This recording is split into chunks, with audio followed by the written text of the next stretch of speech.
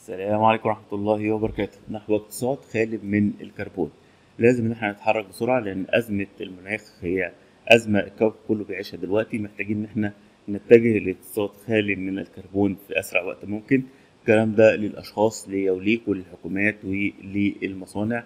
محتاجين إن إحنا نستثمر في الطاقة المتجددة اللي هي الانبعاثات الكربونية بتاعتها بصفر زي الطاقة الشمسية طاقة الرياح الطاقة المائية وكل أشكال الطاقات الأخرى اللي هي هبة ربانية يومية. محتاجين إن إحنا نبعد عن الوقود الاحفوري مش هتقدر تبتعد عنه تماما لكن قدر الإمكان. لأن أنت ما تقدرش تعتمد مثلا على طاقة الرياح في تدوير مصانع. ممكن يوم ما يبقاش فيه رياح فالمصنع يقف لا بيبقى فيه إن أنت تستخدم الاثنين وتستخدم طاقة الرياح لو تقدر 100% لو ما بتقدرش تبقى بحاجه نسبية. يعني الأولى إن إحنا نستخدم الطاقة المتجددة. محتاجين إن إحنا نعمل تحسين لكفاءة الطاقة.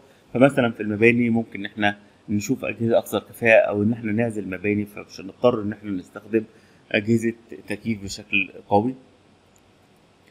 محتاجين إن إحنا نتجه لحماية الغابات استعادتها الغابات عمالة تت- تت- بتتقطع عشان يبقى مكانها مباني كتيرة.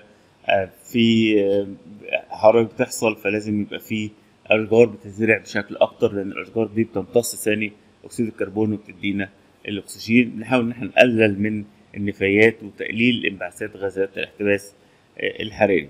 محتاجين إن إحنا كل شخص فينا يبدأ يتجه لأبسط الحلول اللي يقدر عليها زي ما هو مثلا لو بيشتري حاجات يقلل كاس البلاستيك ممكن يبقى في شنطة مثلا بيروح بيها ويجي بيها بحيث يقلل ال- القمامة اللي بتترمي والحرايق اللي ممكن تحصل بسبب حاجات زي كده.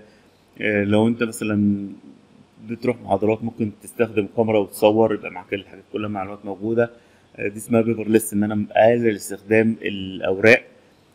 كل الحاجات البسيطة اللي ممكن إن إحنا نعملها ممكن حاجة بدل ما تترمي لأ نعمل عيد استخدامها.